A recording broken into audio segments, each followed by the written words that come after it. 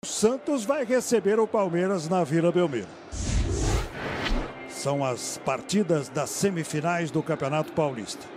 Muito obrigado a você que acompanhou essa transmissão do Premier e do PFC Internacional. Um abraço, uma boa noite e até.